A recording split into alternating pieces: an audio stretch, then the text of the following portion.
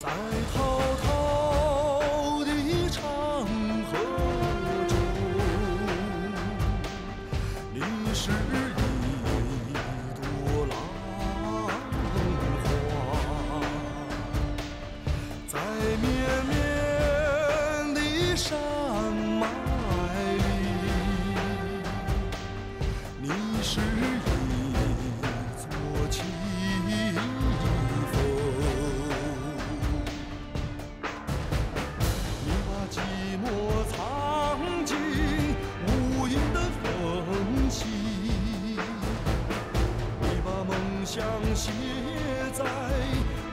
天草原你燃烧自己温暖大地任自己成为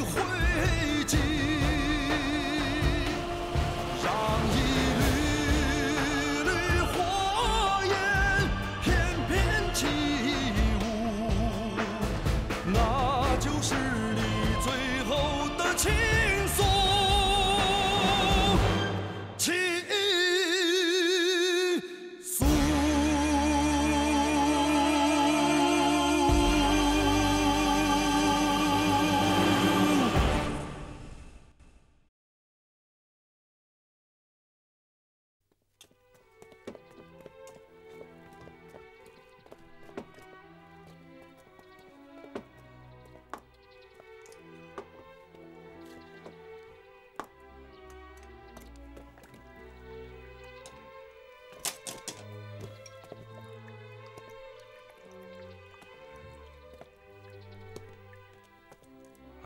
诸位慢用，老夫先走一步了。哼这么可口的饭菜，在韩将军眼里也味同嚼蜡。本来是当丞相的料，结果呢，就封了个财官将军。嗯，标记将军，你有什么资格议论韩大将军？你不就是在皇上脚下转来转去，转了十几年的一个郎官吗？韩将军，韩将军是平七国之乱的首功之臣，那是凭着真刀真枪拼杀出来的才官将军。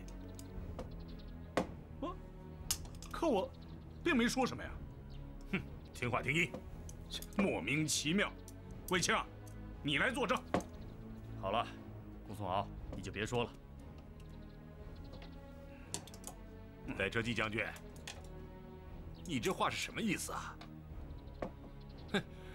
哼，我就这么告诉你们吧，别看你们现在和我平起平坐，各领军纪一万，哼，可我李广当上这个将军，那是在战场上真刀真枪一场一场熬过来的，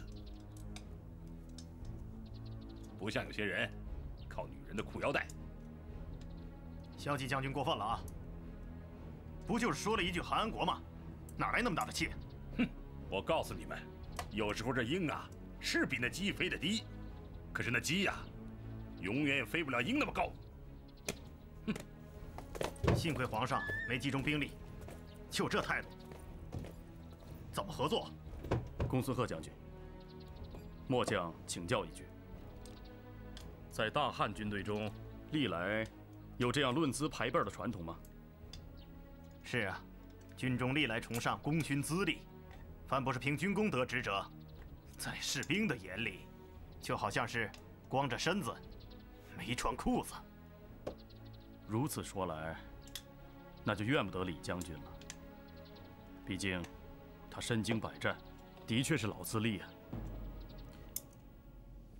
传令官，有传我的将令。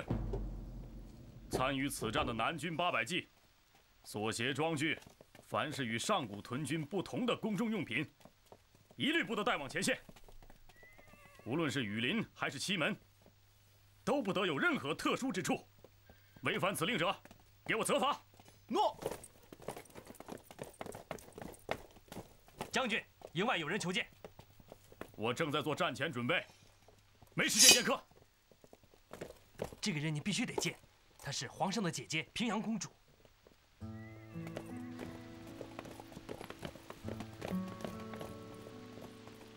大将军，你怎么来了？我们坐会儿。我哪有时间呢？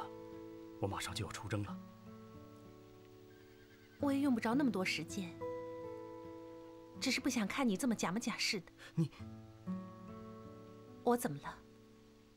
送自己心爱的人出征，杀敌立功，有错吗？你觉得我行吗？不是我说你行不行，是你自己要对自己说：“我行，匈奴人不行。”我明白主人的意思了。你还这么见外？你是我心爱的人，是我至高无上的主人，是让我为你骄傲的上将军。你上战场后，妾将日日为你祝福，愿你斩将擒旗，立下战功，平安的归来。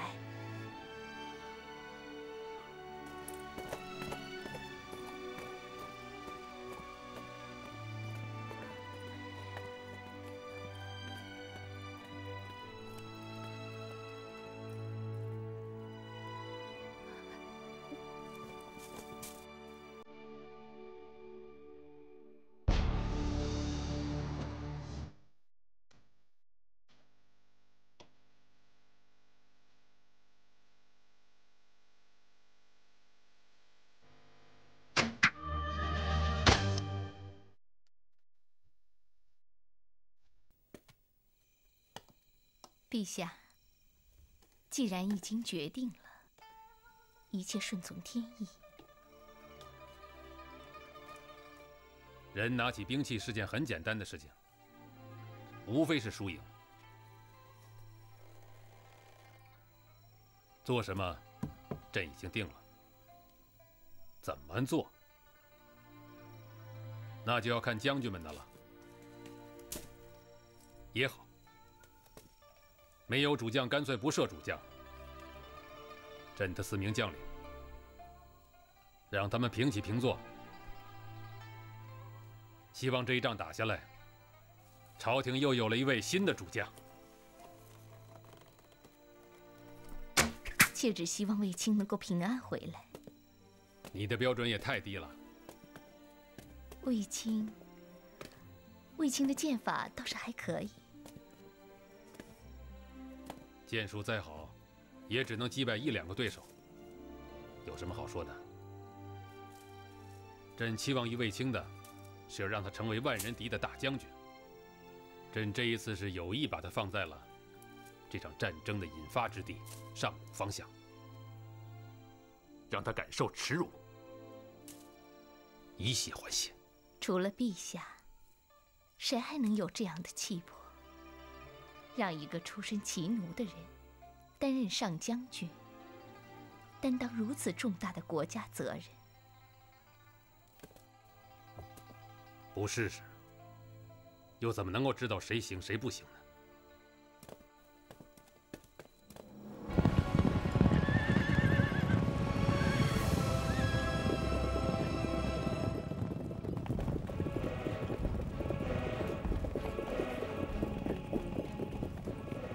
战之前，朝廷上下异常宁静，人们在紧张地等待着结果。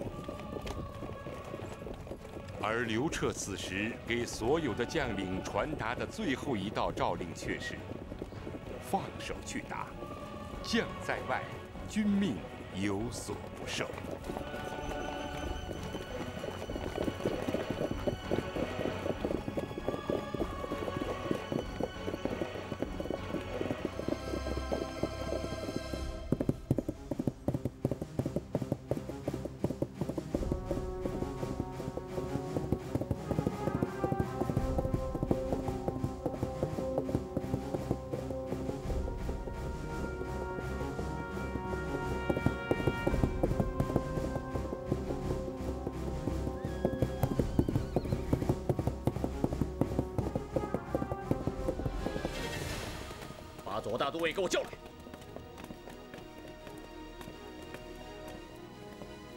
大单于，汇总所有的探报，汉朝军队兵分四路，声势浩大。看来汉朝皇帝此次是要真打了。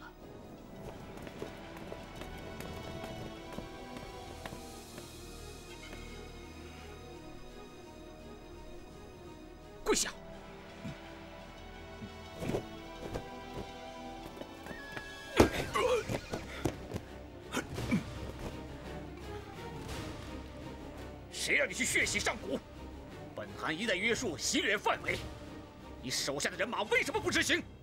本将有个约束？可，可那就如同让猫看着活鱼入睡，哪里抵挡得住诱惑？勇士们一杀红了眼，就顾不得上古下古了。你知道你犯了什么样的错误？大单于，血洗上古是严重的，它直接引发了汉朝皇帝此次大规模的四路讨伐，汉匈之间的关系以此事为节将分为两截。奴才一再警告大单于，我匈奴行动的分寸就是要避免这样的事发生。左大都尉所部贪图营土小利，而危及了我匈奴的大事，应该予以重罚呀！不要以为你是汉人，就处处的替汉朝说话。打就打吧，兵来将挡，水来土掩。我正想多杀几个汉贼呢。大单于，国家之策，不仅是军事与军事的对抗，也是国策与国策的较量。奴才为大单于制定的基本方略，就是要力图避免激怒、唤醒汉朝臣民，以免他们倾举国之力与我匈奴做全面的军事角逐。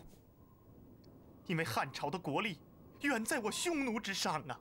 他汉朝皇帝要打，我一只鞋就奉陪，我看不出有什么可怕的。就是，我大匈奴人何时怕过区区汉朝？这儿没你说话的份儿。大单于，您见过沙漠里的眼镜蛇吗？眼镜蛇每每攻击对手时，都要将自身盘紧，周身膨胀出好几倍。脑袋在攻击对手时，常常有意不咬中对方，让对方恐惧而不摸深浅，这才是弱者最好的攻击策略。这四年来，奴才为大单于苦心经营的，就是这种眼镜蛇式的对汉策略：守弱，但不争强，坚韧的守住弱者的地位，才能积累实力。但上古事件已将这种战略打破了。大单于，他那简直是胡说八道！做大都尉不执行王庭的命令，擅自冲入上古地区屠城抢掠，这无疑有利于汉朝皇帝说服他的臣民，煽动起对我匈奴狂热的民族仇恨，长敌人的志气，灭我匈奴的威风。住嘴！拖出去，抽五十鞭子！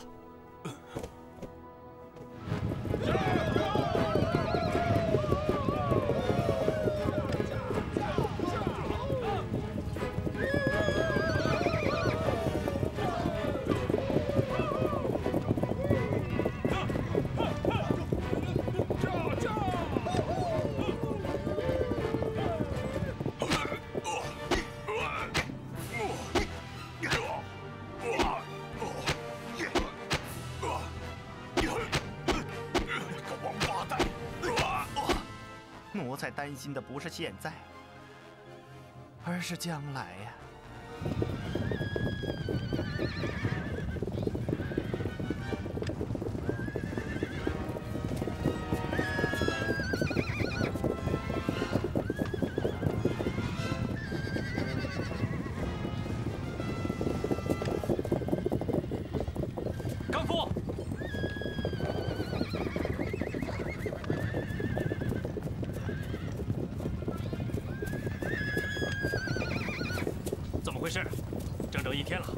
匈奴人在不断的向南调动军队。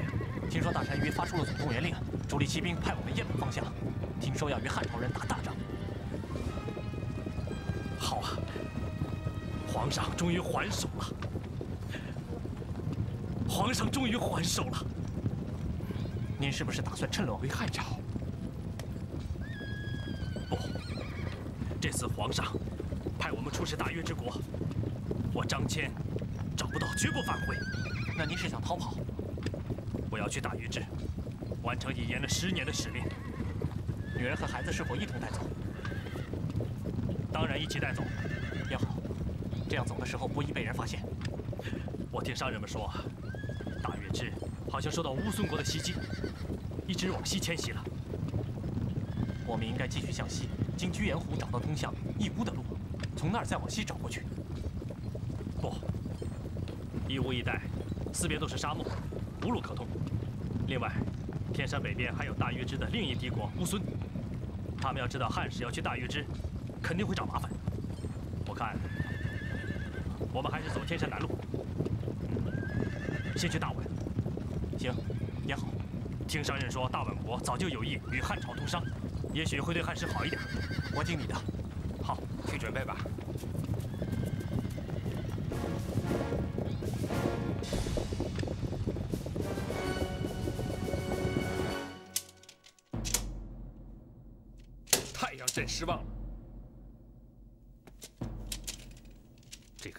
这个武丘寿王，你说他们在朕的身边的时候，也算是才华横溢、智慧无穷。朕送他们去做太守，怎么就没有一个人能做得好呢？弄得会稽、东郡两地百事废弛，乱七八糟。陛下息怒，严柱、武丘寿王都是辩才无碍之士，并不是地方行政之才，让他们在陛下身边做个智囊还可以。如果让他们整治地方，去独当一面的话，我想这也是难为他们了。不行就让他们回来，别在那给朕丢脸。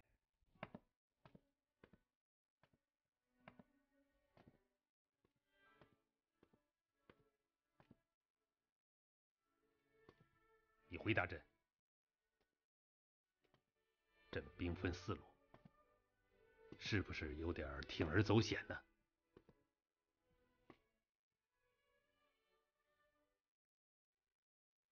朕头一次在军事上重用进士卫青和公孙敖，他们会不会也像严柱跟武丘寿王一样，给朕弄得一团糟？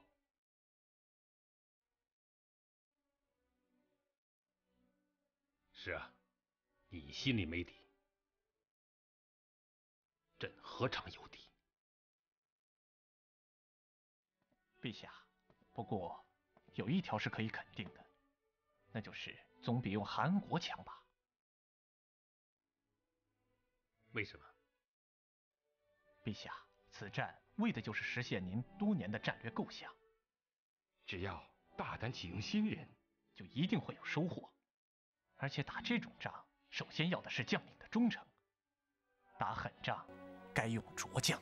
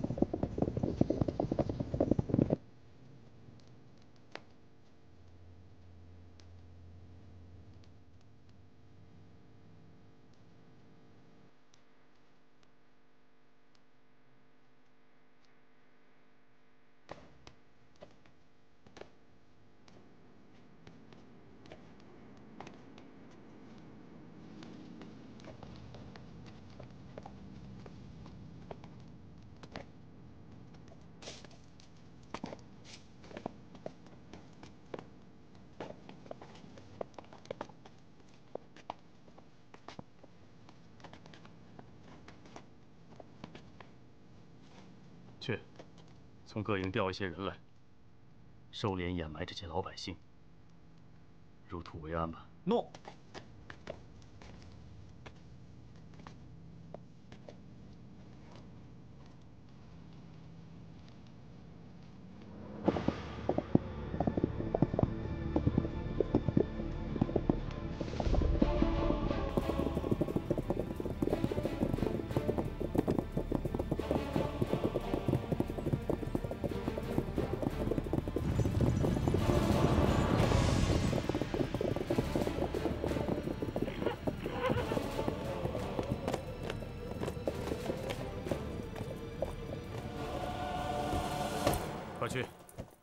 上古本地军将都请到我营帐来。上古屯军诸将领都有些情绪，是吗？跟我李广打仗啊，一要吃好，二要睡足，睡足很重要。吃一头猪不如一觉活。嗯，吃饱睡足了，跟我去打那帮狗娘养的匈奴。父亲，这一万军纪来源不一，恐怕要解决协调问题啊。我的指挥就是协调。这些猪羊顶半个将领，士兵们都是粗人，别跟他们讲道理。一是要让兵吃好睡好，二是打起仗来身先士卒。这就是我李广多年为将的经验，懂吗？参见车骑将军。啊，诸将免礼了。我卫青奉皇上之命，统帅上古全部军纪。本人缺少实战经验，多多仰仗诸位了。将军客气，不过我军已经事先向四周派出侦旗，昨日抓获了一名匈奴使长，在哪儿？带起来！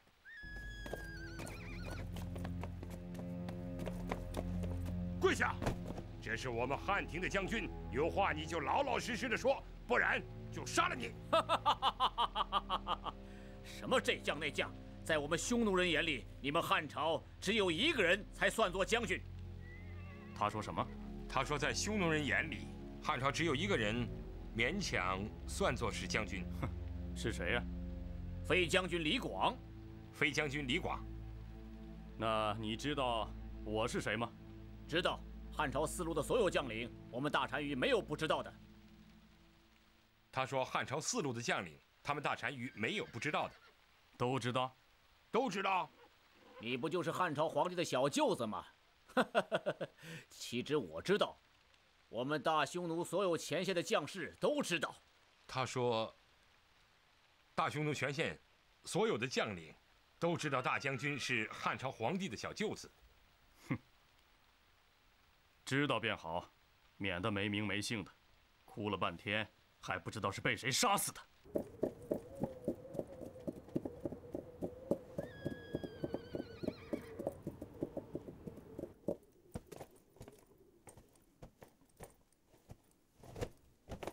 报大单于，我的部队已经集结完毕，大单于训示。起来。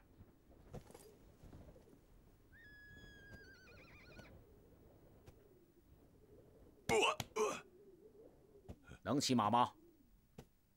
哪长那么快啊？我不明白，大单于为何非用我的屁股去讨好那个汉朝的阉官？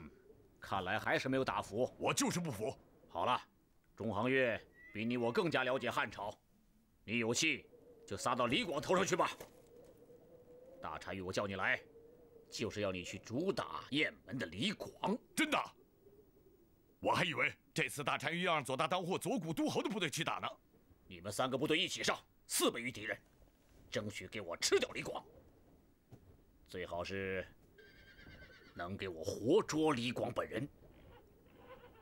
吃掉了李广。就等于打掉了汉朝皇帝的勃勃野心，打掉了汉朝的国威士气，让他们尝尝我们大匈奴的厉害，从此谈虎色变。我明白。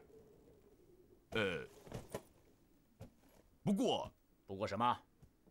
那汉朝其他几路队伍怎么办？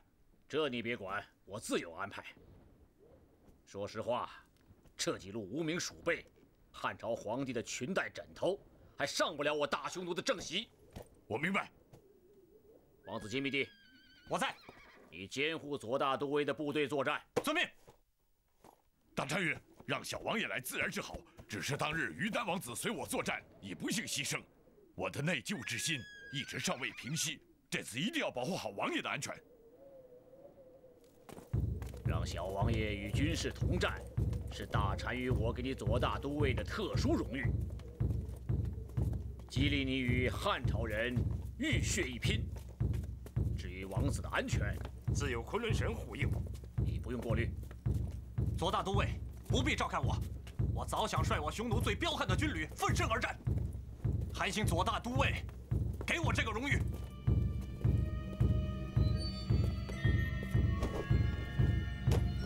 授旗开始。王子所在军旅是我大匈奴的精锐，特授王旗，请左大都尉镇护。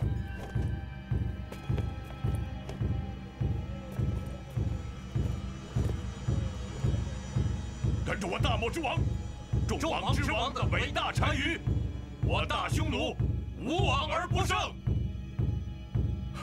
昆仑山，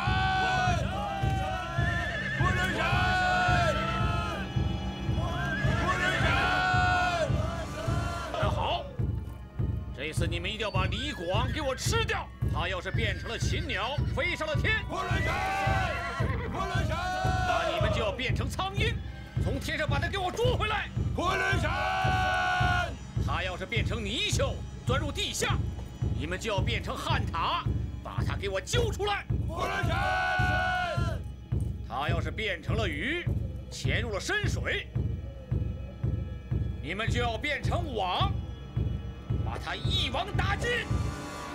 昆仑山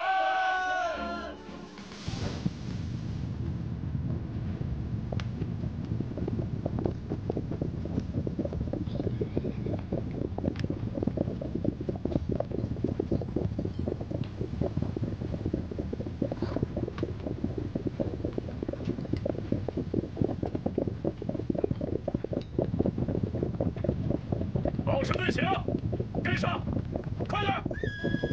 将军，知报李广方向、公孙敖方向均有恶战。知道了。我方为什么抵抗如此微弱？哼因为匈奴没把我卫青当回事儿嘛。我军越过长城已远，是不是应休整一下，派出真骑？暂时不用，趁周边没有敌军，我们要以快制慢。跟上，快点！快跟上！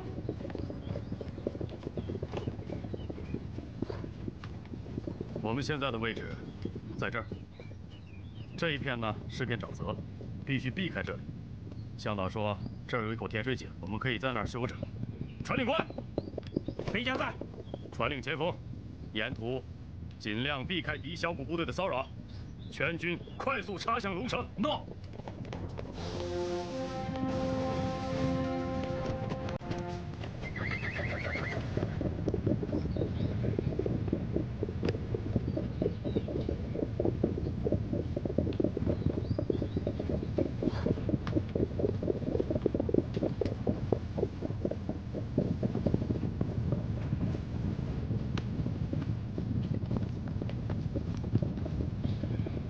来将军此次目标是匈奴人的圣地龙城，龙城离这里至少还有二三百里呢。我们就是想插入匈奴纵深，要让匈奴知道我们汉军铁骑也能远征。孤军深入，将军此举非常大胆。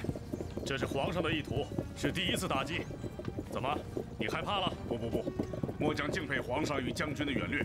将军请看，我南军八百骠骑锐气逼人，而将军亲自做先锋打头阵，上古驻军无不鼓舞。现在全军上下士气高昂。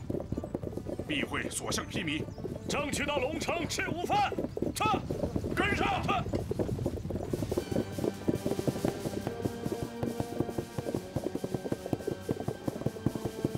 报，大单于，汉军公孙敖部已被代郡方向的左贤王击溃，汉军死伤七千余人，公孙敖部逃回汉境。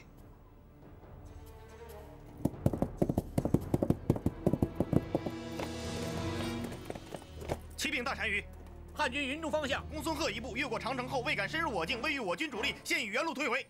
行了，本单于只关心对李广的作战。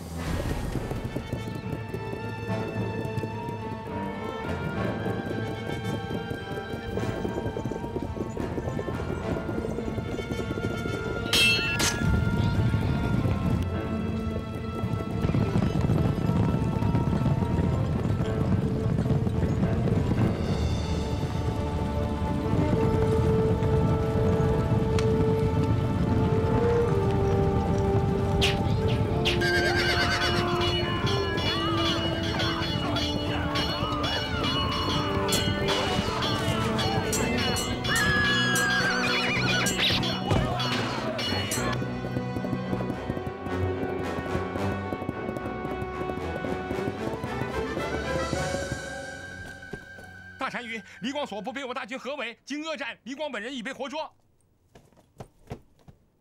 再说一遍，大单于，我军活捉了李广正在押往这里的途中，王子让本官先行报捷。昆仑神。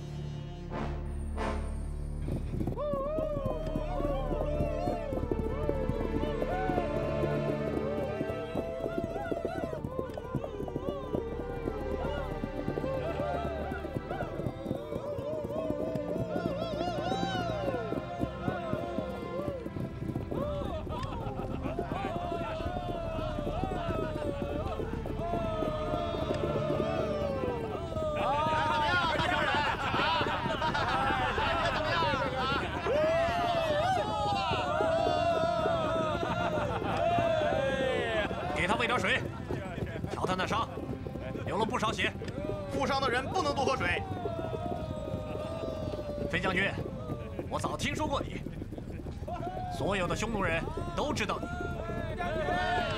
我们匈奴人最崇拜英雄，哪怕是自己的敌人。哼，可算抓到你了，王子，跟只受伤的老虎没什么道理可讲，我看他不行了。不，我得跟他说话。我听说快死的人得使劲喊他，要不就回不来了。哼，那你喊他吧，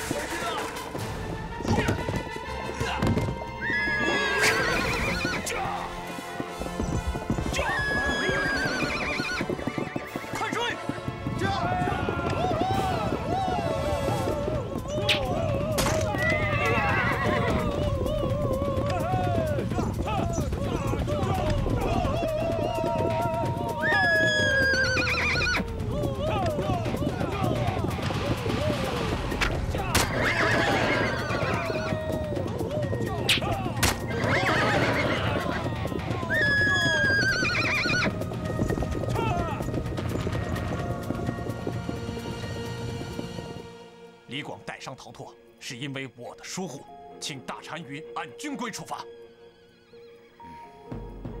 金密帝，哥哥再次告诉你，不要跟汉朝人讲你那颗仁慈之心。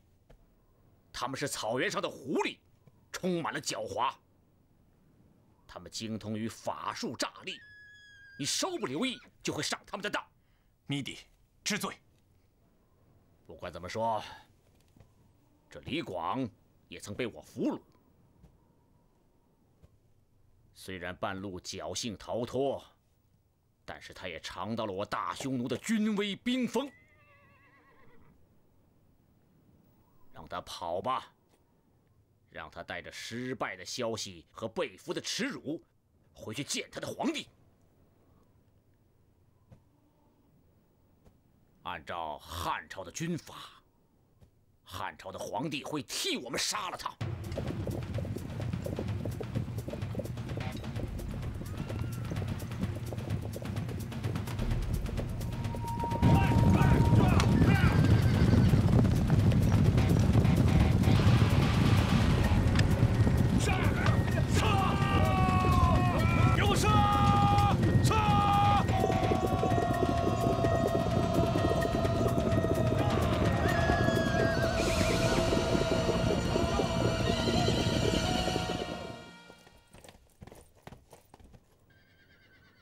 新消息？大单于，龙城圣地失守了。龙城？谁敢袭击我的龙城？是卫青所部，乘虚而去。那里本汗也留了几千守兵啊！卫青他是多少人？一万骑兵吗？败非同小可。你们看看，从上古到龙城有多远？整整的四百里，往返就是八百里。汉军的万余骑兵，在我大匈奴境内纵横八百里，横扫了我的祖宗圣地。这意味着什么？说！给我记住，卫青这个名字，他不只是汉朝皇帝的一个小舅子。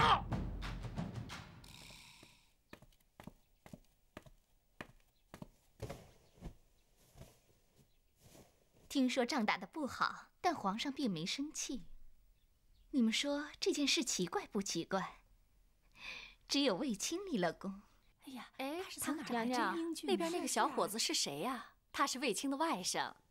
这孩子在乡下呀，天天打架闹事，姐姐管不了，我就把他接到宫里来了。这孩子倒是很爱读书，听说皇上很喜欢他，说他马骑的特别好，可不是嘛？从小就喜欢打打杀杀的，他还陪皇上练剑呢。哦，是吗？是吗，行了行了，让魏娘娘歇息了啊，就是的。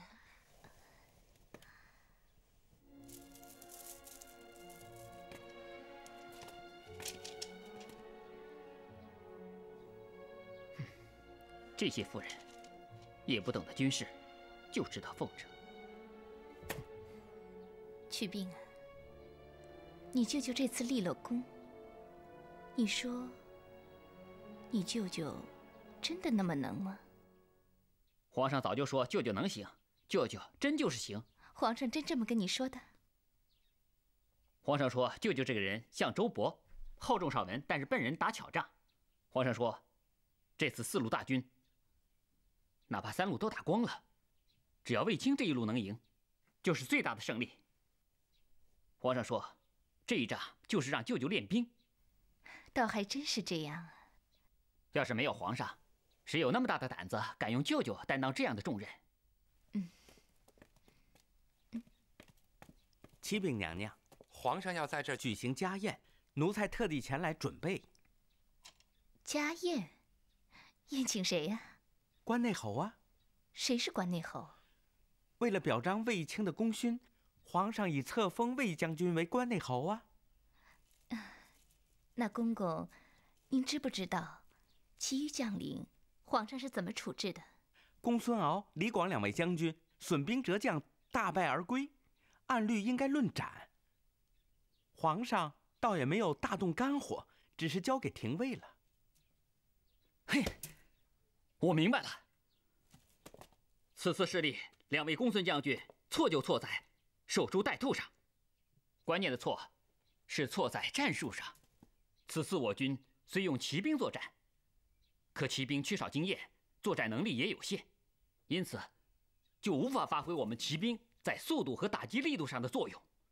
这样作战，就是骑着马也是白白送死。哎。你小子说法跟皇上说的倒也差不多。我说皇上怎么喜欢你呢？感情你能猜他的心思？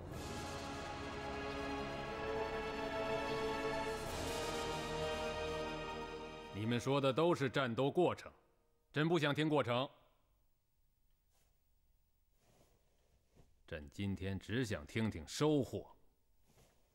公孙敖。你有收获吗？臣罪当诛，败军之将，无颜面对陛下，不敢妄言教训。是啊，你倒是大手大脚的，一次出兵就损了骑兵七千，还不错，还给朕带回了三千。怎么不是收获啊？摔个跟头还得买个明白呢。七千将士的生命就这么白白的送出去了，你对得起他们的英灵吗？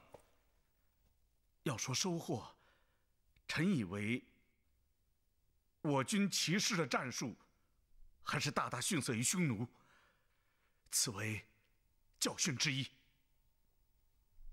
你这话怎么讲？此次马关之战，我军虽然已不使用旧式战车，使用了骑兵。但是战法生疏，兵士们的骑射水平很差，近战刀法单一，完全是一群骑在马上的步兵。你是说，虽然使用了骑兵，但是没有适用于骑兵的战术。是的，卫青，回去写个折子报上来。臣领旨。公孙敖所说的就是收获。公孙贺将军，你倒是不错呀，去也轻松，回也轻松，落个不输不赢。你跟朕说说，你有什么收获呀？余将无功而返，有愧朝廷。是啊，完全不知道匈奴人的位置，昏昏然，茫茫然。余将对陛下的战略领会不深，因而不敢孤军独自深入。入境后，没有找到敌人，有点不知所措。卫青，你要好好记取，匈奴人历来重视战前侦察，马邑之围，我汉军已经领教过一回，事不过三。要设法让匈奴人做聋子，做瞎子。臣领旨。